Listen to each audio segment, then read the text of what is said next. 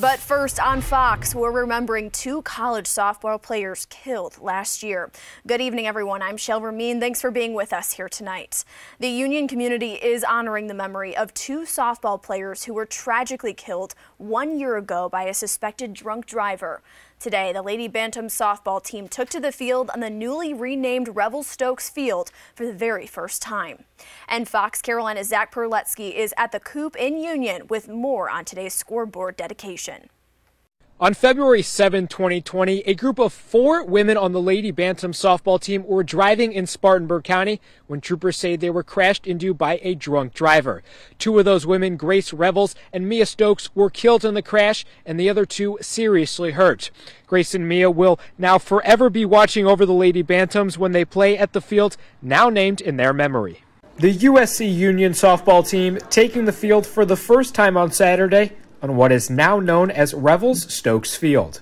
It means a lot. I mean, this community has supported us 100%. Um, they the girls loved going to school here, um, and just the support that they've gotten from everybody here has been great. In February 2020, a car crash took the lives of two Lady Bantam softball players, Grace Revels and Mia Stokes. The driver of the other car was arrested after troopers say he was driving under the influence that night.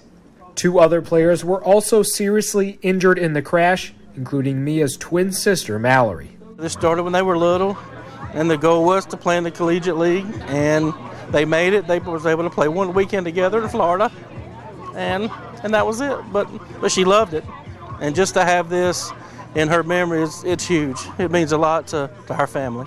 Grace's number one and Mia's number 22 were already retired by the university, now their names and memory will watch over the Lady Bantam softball team for years to come. This brings healing to this community.